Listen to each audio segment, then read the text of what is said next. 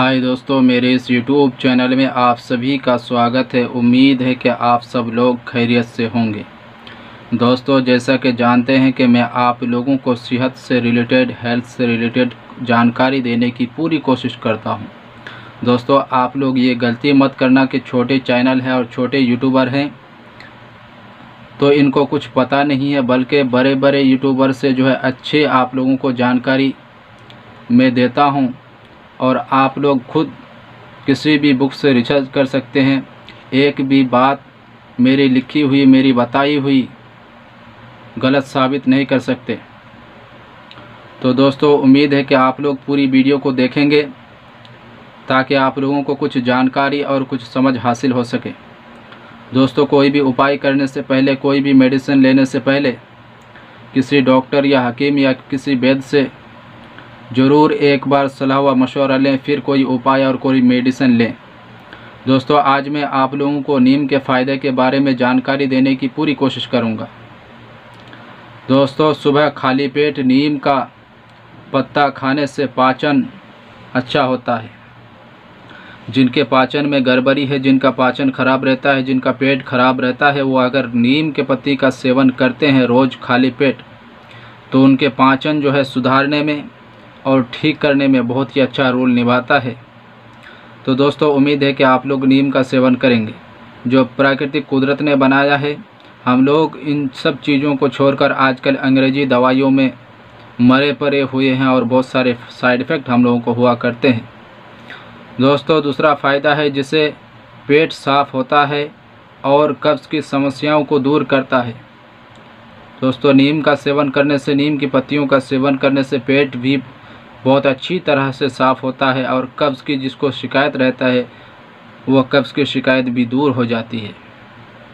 साथ ही नीम की पत्ती तासीर में ठंडी होती है। दोस्तों, बहुत सारे जगहों में बहुत सारे लोगों ने ये बताते हैं कि नीम की पत्ती जो है गर्मी हुआ करती है या हुआ करता है। तो दोस्तों, मैंने भी सुना है कि नीम का पत्ती जो है बहुत ही गर्म हुआ करता है।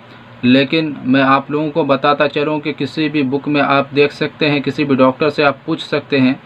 जानकारी उन्हीं लोगों से लें जिसको अच्छी जानकारी हो, वरना आप गुमराही में चले जाएँगे और नुकसान में पहुँच जाएँगे। तो दोस्तों, नीम का पत्ती जो है बहुत ही ठंडा होता है और इसलिए पेट में एसिडिटी, सीने में जलन और पाचन से जुड़ी समस्याओं को दूर करता है। आपके अगर अंदर एसिडिटी बनता है, गैस बनता है, आपके गले में जलन होता है, आपके छाती में जलन होता है, आपके पेट में जलन होता है, आपको डिकार आता है, जलन वाली, खट्टी वाली। तो दोस्तों, इन सबसे भी आपको निजात पाने में लाभ करता है नीम की पत्तियाँ। नीम की पत्तियाँ से आटों आंतों की बैक्टीरिया को भी ख़त्म करता है। दोस्तों, पेट के अंदर जो आंतें होती है, जो पेट के अंदर जो आंतें होती है, जिससे पाखाना बाहर निकलते हैं, उनके अंदर जो बैक्टीरिया हो जाते हैं, उनको भी ख़त्म करने के लिए बहुत ही अच्छा मददगार साबित होता है नीम का पत्ती। पाचन क्रिया को ठीक रखने में मदद करता है कि कभी ख़राब ना हो जाए। जिसको अभी ख़राब नहीं हुआ है, वो अगर इस्तेमाल करते हैं तो उनको ठीक रखने के लिए बहुत ही अच्छा मदद करता है। रोज़ाना नीम का सेवन करें। नीम की पत्तियाँ ठंडी होती है, इसलिए इसको गर्मी में सेवन करने से विश्व रूप से लाभ मिलता है। दोस्तों, आप अगर नीम का पत्ती विशेषकर, यानी खासकर गर्मी के सीज़न में, गर्मी के मौसम में इस्तेमाल करते हैं तो दोस्तों आपको बहुत ही ज़्यादा फ़ायदा मिलेगा पेट के लिए। नीम के कुछ बेहतरीन फ़ायदे हैं। दोस्तों सबसे नंबर वन फ़ायदे पर है एंटी बैक्टीरियल गुण इसमें पाया जाता है जो बैक्टीरियाओं को मारने में और अच्छे बैक्टीरियाओं को जीवित करने में बहुत ही अच्छा मददगार साबित होता है और बुरे बैक्टीरियाओं को मार देते हैं। दोस्तों, इसके बाद है उच्च रक्तचाप को ये कंट्रोल करता है, जिसको बीपी का जो है परेशानी है और जिसको हार्ट का प्रॉब्लम है। लेकिन कोई भी उपाय करने से पहले मैं आप लोगों को बता देता हूँ कि डॉक्टर से ही सलाह लेकर करें। सांस संबंधी समस्याओं को भी दूर करने के लिए नीम में गुण पाया जाता है। एल्सर में नीम का उपयोग बहुत ही अच्छा होता है। अगर किसी को एल्सर हो गया है घाव हो गया है पेट के अंदर या कहीं हो गया है, बाहर भी हो गया है तो इसको आप धो, इससे जो है गर्म पानी करके धो भी सकते हैं और इसको सेवन भी कर सकते हैं। कुष्ठ रोग में बहुत ही अच्छा काम करता है दोस्तों। आप लोग जानते हैं कि कुष्ठ रोग किसको कहते हैं? मलेरियाओं में भी बहुत ही अच्छा काम करता है। जिनको मलेरिया हो जाता है या जिनको हो गया है, उनमें भी बहुत ही अच्छा काम करता है। नीम के पत्ती का सेवन।